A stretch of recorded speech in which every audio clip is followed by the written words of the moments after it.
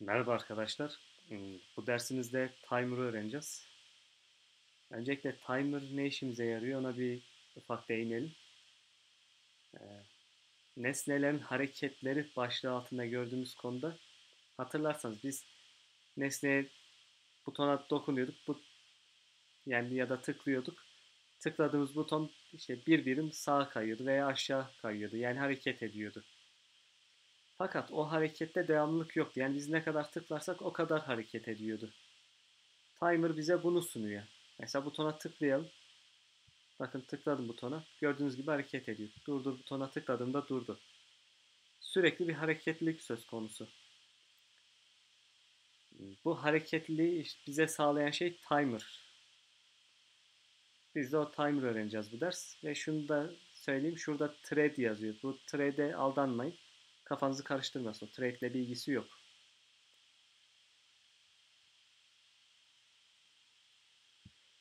Evet, şimdi timer'ı öğrenmeye başlayalım. Şunu kaldıralım. Bunun yerine bir tane buton koyalım. Tekstine de başlat diyelim. Biz butona tıkladığımızda buton aşağı doğru hareket etsin. Veya sağa doğru onu vakti gelince karar veririz.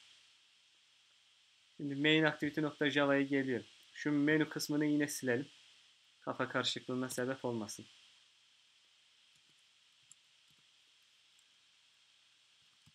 Burada bir tane sınıf hmm, oluşturacağım ben. Sınıfımızın adı da hmm, sınıf timer diyelim. Bu sınıfı extend, extend edeceğim. Yani miras alacağım. Bu aslında nesne tabanlı programlamanın, klasların bir konusu. Bunu zamanı gelince öğreneceğiz. Zamanı gelince ben derslere ekleyeceğim. Şimdilik sadece anlattığım kadarıyla bilmeniz yeterli olacaktır. Ee, anahtar kısım şurası. Bakın countdown timer. Bunu seçiyoruz. Küme parantezimizi açalım.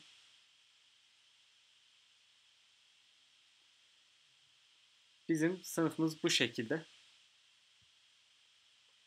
Hmm. Ve burada yani dediğim gibi tekrarlamak gerekirse üstünde çok duruyorum belki ama çok önemli bir kısım. Countdown timer. Yani timer'ımızı biz buradan oluşturuyoruz. Ve şunu da belirtmek istiyorum. Her ne kadar da sonunda timer geçse de Java'da gördüğünüz gibi sadece timer olarak geçmiyor. Countdown timer olarak geçiyor. Ben neden timer olarak söylüyorum? Çünkü diğer dillerde C Sharp'ta, Delphi'de vesaire timer olarak geçiyor. O yüzden burada da ben timer diyorum. Yani timer deyince aklınıza countdown timer gelsin Java için. Şimdi şurada üstüne geliyorum. Mouse'u uzaklaştırıyorum. Bakın şurada ampul yanıyor. Bu ampule tık, tıkladığımda şurada implement metot diyor. Buna tıklamamız gerekiyor veya Yine şurada sınıf timer'ı imleci üstüne getiriyorum. Sınıf timer'ın üstündeyken buraya bir tane bırakıyorum imleci. Orada yanıp sönüyor. Ve kod kısmına geliyorum. Buradan implement metot. Hangisini istersek onlara tıklıyoruz. Ve şurada iki tane metot var. Bir tanesi on bir tanesi de on finish.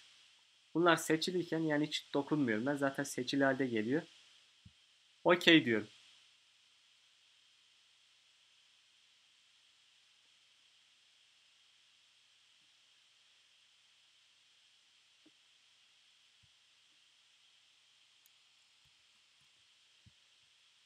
Ve yine şurada sınıf time'ın üstüne geliyorum.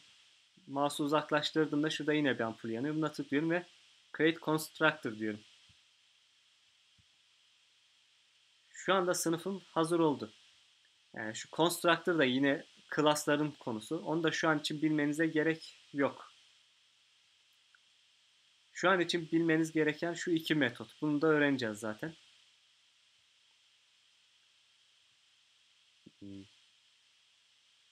Biz bu sınıfı kullanarak artık bir timer oluşturabiliriz.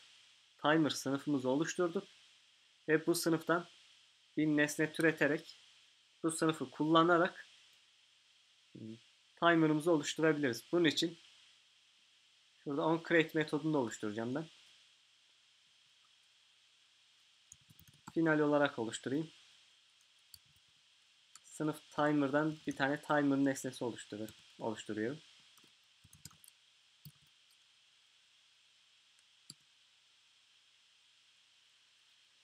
Bakın benden iki tane parametre istiyor. Aşağı doğru bir pencere açıldı. Bir tanesi milisaniye hmm, diye bir şey çıkıyor. Gerçi ikisi de milisaniye olacak da bir tanesi de interval değeri. İlk parametre olarak biz şunu belirteceğiz. Ne kadar süre devam etsin bu timer? Evet, biraz önce gösterdiğim örnekte hatırlarsanız buton sağa doğru kayıyordu. Biz butona tıkladığımızda duruyordu. Yani bu ne kadar süre devam etsin? Mesela 5 saniye boyunca devam etmesini istiyorsak biz buraya 5000 yazıyoruz. Çünkü milisaniye cinsinden, saniye cinsinden değil. 5 saniye devam etmesini istiyorsak 5000. 10 saniye devam etmesini istiyorsak 10.000 yazmamız gerekiyor. Ve virgül diyorum. interval değerini giriyorum. İntervaline de 10 giriyorum. İnterval değeri de nesnemizin kayma hızını belirtiyor. Tabi biz o örnekte nesneyi kaydırttık. Sadece nesneyi hareket ettirmek için kullanılmıyor timer. Biz orada öyle bir örnek yaptık. Buraya girdiğimiz 10 değeri hmm, bunun hızını temsil ediyor ve biz bu 10 değerini ne kadar yükseltirsek o kadar yavaşlayacaktır. Bunu tabi biraz sonra bu değeri değiştirerek bize nasıl bir sonuç gösterdiğiniz, nasıl bir sonuç verdiğini öğreneceğiz. Göreceğiz hep birlikte. E şurada butonumuzu bir oluşturalım.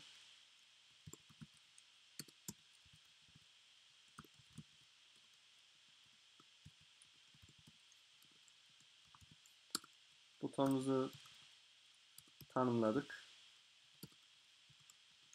Şimdi butona bir klik olay ekleyelim.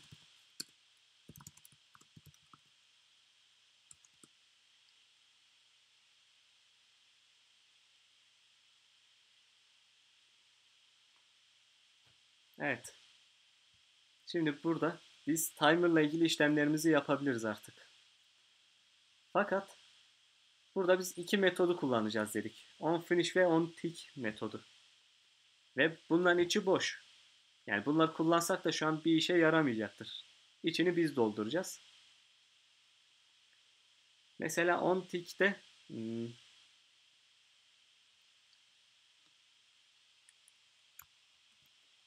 butonumuzu hareket ettireceğiz. Onun için şurada bir aslında yapmamız gereken bir şey yaptık. Butonu global tanımlamamız gerekiyor.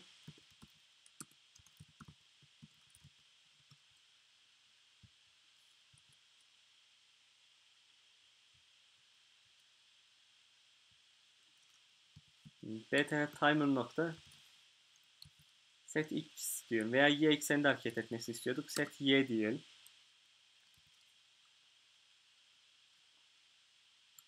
Yine btn timer'ın y eksenindeki koordinatını alarak sürekli 2 arttıracağız. Burada yaptığımız işlem bu. E şimdi bunu çalıştırıp deneyelim. Burada başlata bastığımızda bir şey olmuyor çünkü buton kliği boş bıraktık.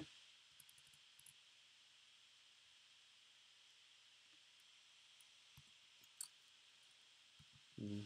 Timer'ımızı oluşturmuştuk. Nokta start diyoruz. Şimdi tekrar çalıştıralım.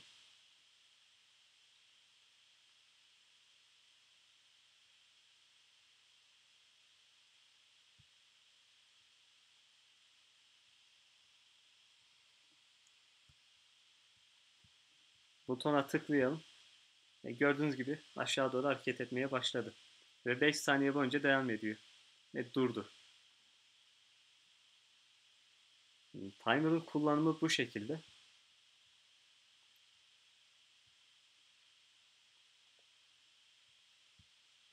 Burada biz sadece tabi on tick metodunu kullandık bu sınıfın. Diğer metodun önümüzdeki ders kullanacağız. Bir özet geçmemiz gerekirse Countdown Timer sınıfından miras alarak bir sınıf oluşturduk. Bu şekilde. Ve bir implement yaptık. Yani şu iki metodu oluşturduk. Implement yaparak. Bir de şurada constructor'ını oluşturduk. Bu sınıfın. Hmm. Sonrasında da bu sınıfı kullanmak için bir nesne türettik şu şekilde. Ve sonrasında da timer.start'la timer'ımızı başlattık.